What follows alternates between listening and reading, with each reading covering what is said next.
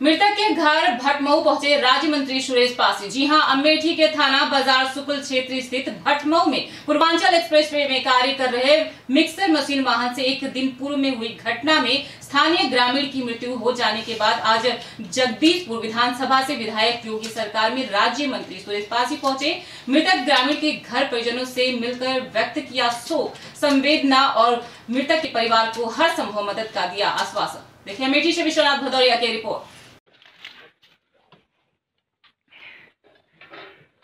भाई नहीं पिताजी भाई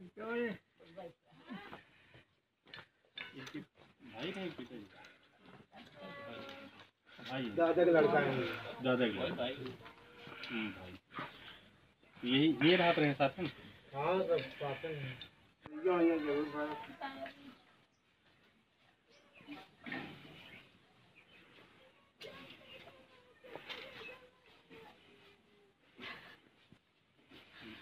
भाई मिक्स पत्नी हाँ एक शादी हो गई एक की शादी हो गई साहब अब ये एक नहीं दो की नहीं चार बच्चे नहीं पाँच दो लड़के हैं। दो लड़का तीन लड़की। है।